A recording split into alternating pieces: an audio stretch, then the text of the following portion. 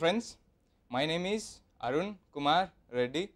My roll number is BT10B054. Today I am here to talk about a technique which is widely used to distinguish two major classes of bacteria. Crystal violet, a dye which irreversibly stains one class of bacteria but not the other and which forms the basis of this technique. Bacterial cell walls are mainly made up of two biomolecules namely peptidoglycan and lipopolysaccharide. Based on the amounts of these molecules present in a cell wall, they are distinguished into gram positive and gram negative. The gram staining method procedure is as follows. First, the bacterial smear is fixed on to a glass slide, followed by which the treatment of crystal violet stains the bacterial cell walls with purple color. In the next step, the treatment with iodine solution ensures that the crystal violet dye is bound to the cell walls of bacteria.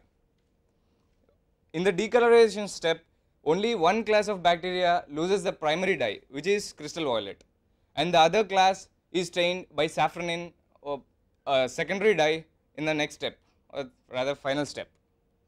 And these are the pictures of gram negative and gram positive bacteria as seen under simple microscope.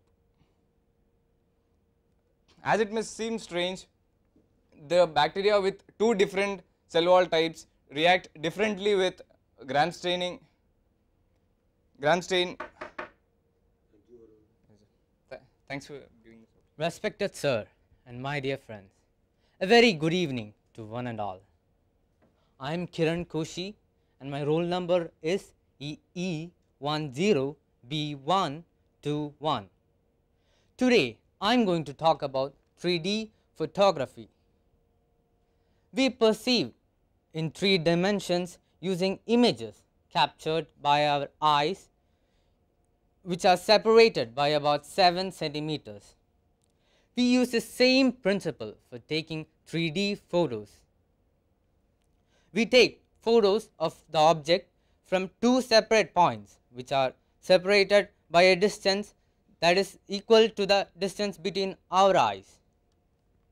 Then these images are directed into the in different separately directed into our two eyes using a technique called stereoscopy. The basic uh, setup is an eyepiece, a barrier and an image stand. An excellent example of this is the ViewMaster. An improved version of stereoscope is anaglyph in which two images are captured by two different colors, one red another cyan. Then these are directed into the eyes by a filter. Another improvement I would like to talk about is the increase in depth perceived by increasing the distance between the two cameras or the objectives. It is a widely used technique in military binoculars. I hope you enjoyed it. Thank you. Have a nice day. I wish one and all present here a very fine evening. I am Gokul and my roll number is CH10B017. Today I am here to talk about the lathe machine, which are very familiar to us in our first year. A lathe machine is a machi- machine tool which turns cylindrical material, touches a cutting tool to it and cuts the material. The lathe is one of the machine tools most well used by machining. Now, let me tell you the working of the lathe machine in a sequence. Firstly, fix the workpiece firm and tight inside the chuck.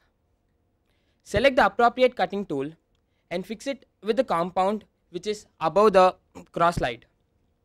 Then see to that the tailstock and the cutting tool are in the same vertical level.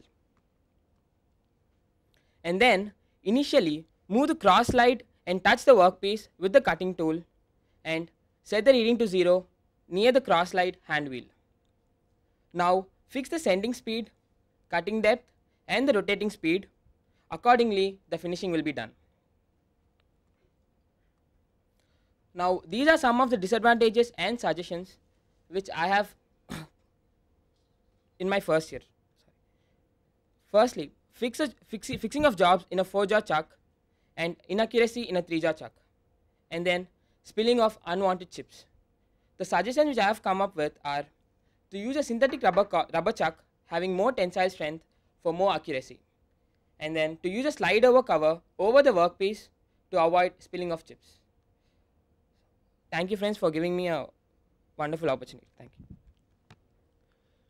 Good evening, respected sir and my dear friends. My name is Vimal and my roll number is CH10B073. Today I am going to talk about shape memory polymers which I regularly encounter during the course of my research project. The given slide shows and gives us a basic idea of the shape memory process. In this case, the sample is transformed into the temporary shape by the programming process and is later recovered by heating the sample above the transition temperature. The triple shape memory effect as shown in this slide is shown by those polymer systems which possess two separate phase transitions and the temporary shapes S1 and S2 exist above and between these transition temperatures. Quantification of the shape memory process is done by calculating the values of strain fixicity rate and the strain recovery rate from the given graph. When I calculated these values, they turned out to be 84.5% and 96% respectively. This slide gives us an idea of the future applications of this process. This car is designed to be implemented by the year 2050. The front end of the car is designed by shape memory process and a given platform slides down so that elderly citizens can walk up the platform. Thanks a lot for your time. Good evening, friends. I am Rohan Bendre, roll number BT10B036. My topic for this cycle is bicycle. Every one of us here has once owned a bicycle. It is very robust and can be truly called the universal vehicle. The bicycle skeleton has several important parts. The seat carries the passenger. The handlebar controls the direction. The brake reduces speed. The pedal is where the foot rests and generates energy by rotation. The chain transmits this energy to the wheel, which manifests itself in forward motion. A bicycle works on the ratchet mechanism. The pedal converts our energy into rotatory motion of the front gear. The chain transmits this energy into the back gear, which induces motion of the wheels. A group of students from our very own institute had improved upon the existing design of the bicycle by building a self balancing cycle. This prototype could self balance using inclinometers and also self steer using image processing and uh, a self balancing tool. A bicycle is a very useful and highly efficient engineering product. Hence, it is no wonder that so many bicycle thefts are reported in our institute. Thank you. Good evening to all. My name is Aparna. My roll number is CS10B003. Today I am going to talk about vacuum cleaner. A vacuum cleaner consists of the following parts intake port, fan, rotating brush, electric motor, dust bag, filter, and an exhaust port. It works based on the suction principle. The dust is drawn into the intake port, passed through the pipe, and gets dissipated into the bucket. The rotating fan would then drive it to the ambient atmosphere through the exhaust port and the filters. Some improvements that I would like to suggest are the following. A portable vacuum cleaner is much simpler and handy to use. Automatic cord rewind makes it faster to use as the pipe can be wound quickly. Telescopic extension tubes can be used to make the vertical chamber longer or shorter as desired.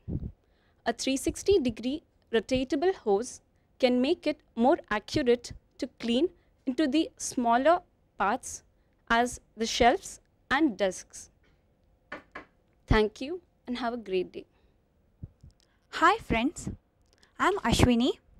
My roll number is E EE09B065.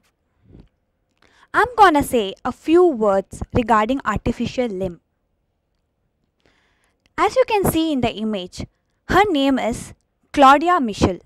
She was one of the world's first woman to undergo this nerve rerouting surgery. These instruments are basically made by plastics and carbon fiber so that the material gets stronger. The pylon acts as an inter frame or skeleton and provides structural support and this is made by metal rods.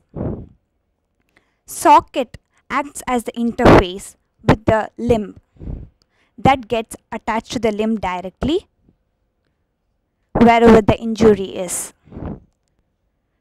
Inside the socket, there is a thermoplastic sheet that strengthens the structure. The silicone liner are basically made for the fingers since the cross section area is circular in shape. The muscle signals are read by small electrical antennas called electrodes so that the biceps and triceps can be made much easier to open as well as to close the finger. Some improvements are by implementing infrared radiation so that the reflex action gets faster. In the diagram, you can see that the joints are made. Thank you. Good evening, ladies and gentlemen. I am Siddharth, E CE10B073. The 21st century has seen the advent of the global positioning system. The answer to questions like where am I or how do I get to a place have become just a few flicks away. So, how exactly does this system work? The GPS technology consists mainly of the following three segments the user segment, the space segment, and the control segment. The GPS handset emits a code synchronous with the space station code. The phase difference between these two codes are used to measure the distance between them. Now, spheres are drawn with the satellite vehicles at the center and radii equal to the distance between the handset and the space station. Any point at any time on the surface of the Earth is within the radius of three of these satellites. The intersection of these spheres from two satellites are used to confine the position of the point to a circle on the Earth. And with the third sphere, it is confined to just two points. One of the points is eliminated based on physical feasibility. Hence, we can uniquely identify the location of the point on Earth.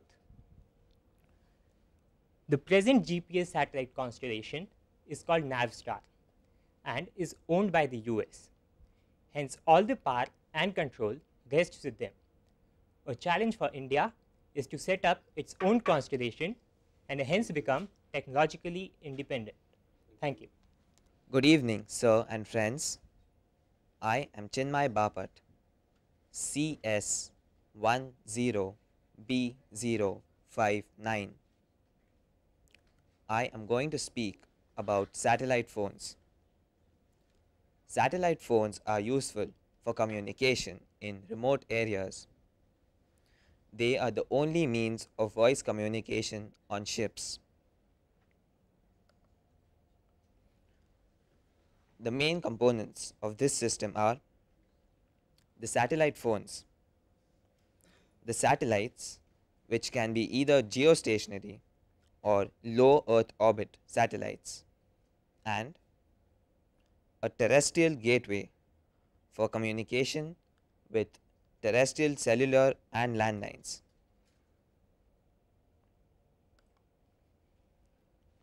When a call is placed from a satellite phone to a landline, the phone communicates with a satellite that is in direct line of sight from the phone. This satellite passes on the data to other satellites until it reaches one which is in a direct line of sight from the terrestrial gateway. From here, the call is handled like a normal telephone call.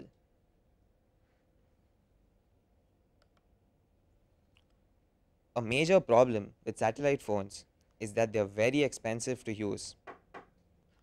Outgoing calls can cost as much as 100 rupees a minute.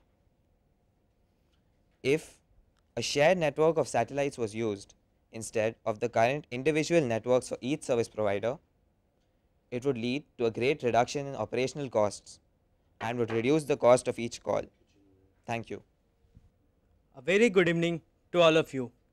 I am Aman Kumar.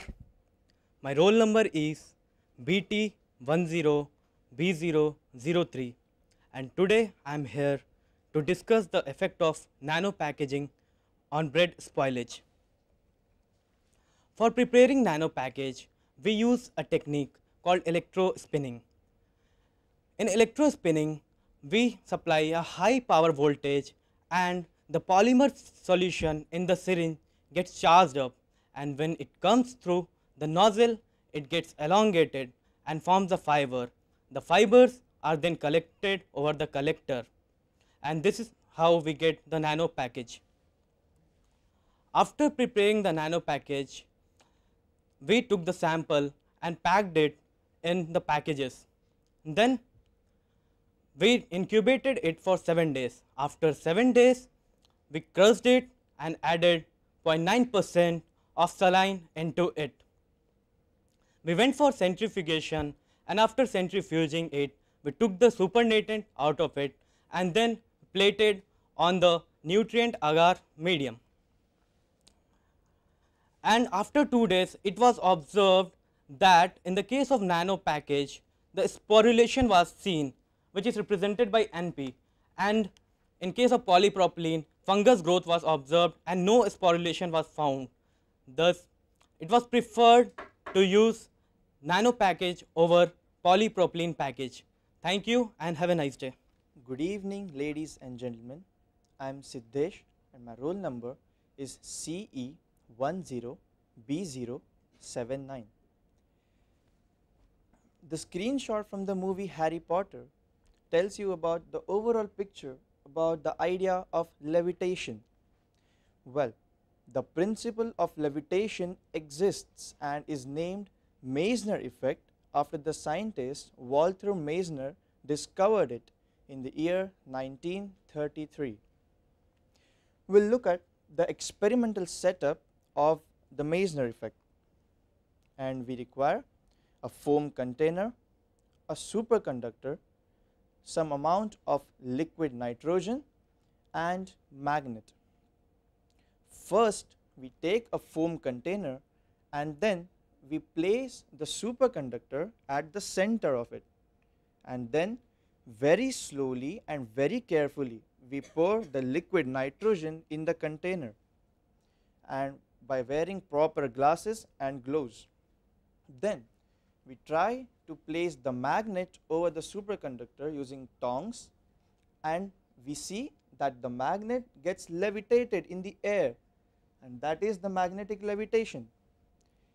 The principle behind this is that when the superconductor is cooled below its critical temperature, then in the presence of external magnetic field, it develops the magnetic domains which repel the source of the magnetic field that is the magnet. So, it gets lifted up. This phenomena has found many applications and one of it is the maglev train being built in Japan. The maglev stands for magnetic levitation. Thank you all of you. Respected sir, my dear friend, good evening. I am Kalpesh Benuskar. My roll number is CH10B008. Today, I will talk about static mixer. Static mixer is a device which mixes a fluid flow in homogeneously. As its name suggests, this device mix uh, this device works statically. Therefore, it does not it does not require energy except for passing the fluid through the through the static element. As you can see in this figure, the static mixer is a fixed in a pipe. Next is mechanism. Fluid, fluid uh, static mixer element divides a fluid flow in a two parts and uh, because of a helical structure of a mixer element this this fluid uh, fluid converges as a fluid passes through the mixer these processes creates a turbulence inside the mixer and uh, as a result it um, fluid gets homogeneously mixed. Next is uh, improvement in the model. Mixer geometry should be improved so that the pressure drop across a mixer will be minimum. We can use a plastic as a mixing element to reduce a cost of a model. Thank you. Good evening, ladies and gentlemen. I'm Dinesh Soundapa and my roll number is CE10B017. Today, I'm going to speak to you about GFRC panels, glass fiber reinforced concrete panels. These introduction of these panels is a major breakthrough in the field of construction. These panels are of high strength, load bearing, quick to erect, economical, and also eco friendly. These panels are generally of 124 mm thick, and in the hollow sections, reinforcement, plumbing, electrical services are placed, and later, for additional strength, concrete is poured into it. Now, in this slide, you can see a house built with the help of GFRC panels, and the build specification of the house is shown. Now, moving on to the process of erecting these panels. First, the location of these panels is supposed to be marked with respect to the grid lines. Then, starter rods are supposed to be placed on top of the foundations. Third, panels are supposed to be put in place with the help of a crane. Fourth, the panels are supposed to be propped and connected to each other. Fifth, reinforcement is placed inside the hollow section. Sixth, concrete is poured and it's ready to use. In such a manner, construction can be made easier, faster, and more economical. In this slide, you can see that GFRC panels is more effective in terms of cost, labor, time compared to other construction materials. It's very well indicated and you can see in terms of labor, it's just almost triple the amount. Thank you. Good evening, friends. I, Raghavendra, CS10B018, am here to talk about the engineering of a cryptex. This word is a neologism which originates from the combination of the words cryptology and codex. It denotes a portable vault used to hide secret messages. Let's see how a cryptex works. It mainly has two concentric cylinders. The secret message is hidden inside the inner cylinder. The inner cylinder has a set of nails protruding out of it in a straight line. The outer cylinder has a channel through which the inner cylinder can pass through pass in or out. The only thing that blocks this motion is the presence of alphabet rings around the outer cylinder between the nails. The only way the nails can have a free path to move in or out is when the rings are, are, are set such that all the grooves are aligned perfectly with the channel.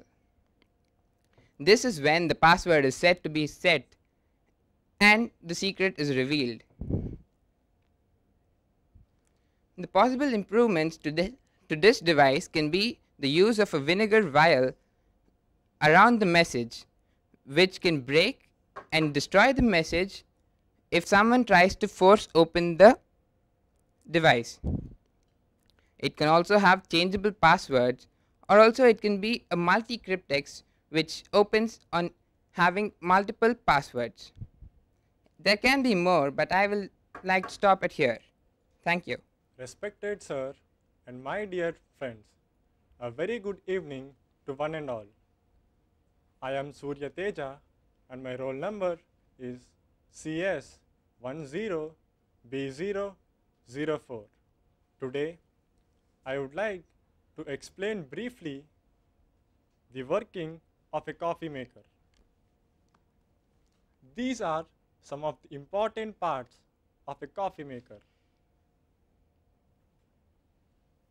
Now, coming to the process, initially the ground coffee beads are placed in the shower head and the water is poured in the reservoir. This water slowly seeps through the hole into the orange tubes. From there, the water passes through a valve which is the natural gravity and it gets into the aluminium heating element. This aluminium rod heats up the water and it gets boiled. This boiled water slowly seeps up through the white tubing due to capillary action and it dispersed to drip the evenly distributed beans in the shower head. From there, it flows down, capturing the essence oil in the beads, which is known as coffee oil, and it is collected in the carafe. Finally, it is mixed with boiled, boiled milk to obtain pure filter coffee. Some improvements could be the inclusion of programmable timer, built-in grinder for fresh and faster coffee, self-cleaning cycles and filtration systems also improve its functionality. Thank you and have a nice day. Good evening, ladies and gentlemen. My name is Raju Shekhar and my roll number is CS10B012. Today, I would like to discuss about the construction and working of solar panels. Solar panels use light energy from sun to generate electricity through photovoltaic effect. Since a single solar panel only generates a limited amount of power, most installations contain multiple panels. A typical photovoltaic system includes an array of solar panels, an inverter, a controller and an electronic box. So, how do these solar panels work? A solar panel essentially consists of a PN junction diode.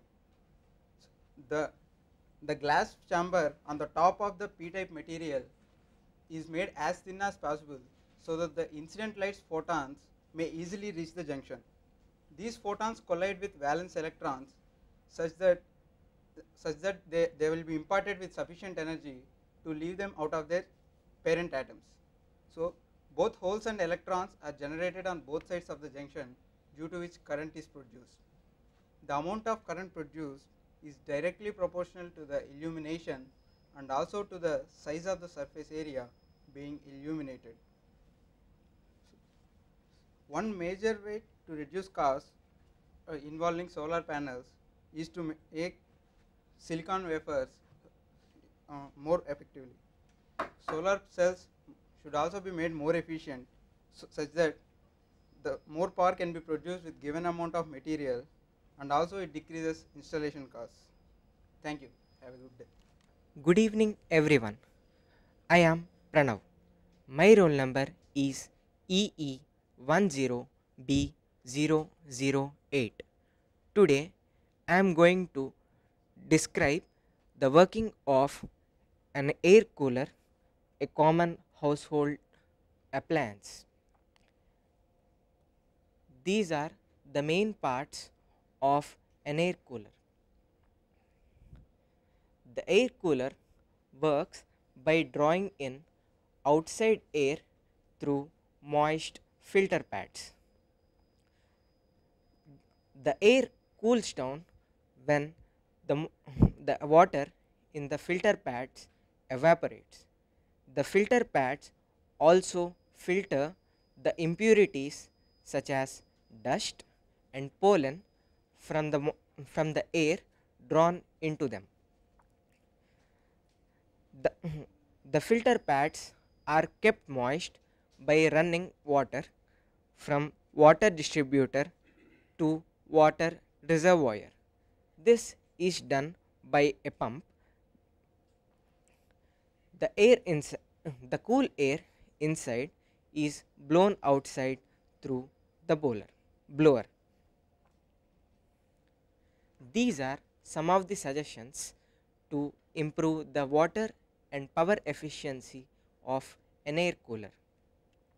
By introducing automatic controls like um, temperature pro- um, programmable temperature control, the air cooler can be switched off when the temperature reaches to a minimum a minimum state. Thank you. Respected sir and dear friends, good evening to one and all. I am Deepak. My roll number is NA10B008.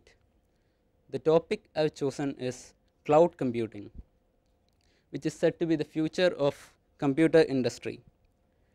Cloud computing is the delivery of computing as a service rather than a product, whereby resources are provided as a utility like electricity. Consider a corporation. Buying computers for all employees isn't enough. Softwares and its licenses are also required to provide all the employees with the required tool. This is where cloud computing comes in. Instead of having softwares for all computers, you just have to load one application which allows the worker to log into a web based service that hosts the required program. Web based email services like Gmail, Yahoo, etc. are forms of cloud computing. Cloud computing can be divided into two front and back end.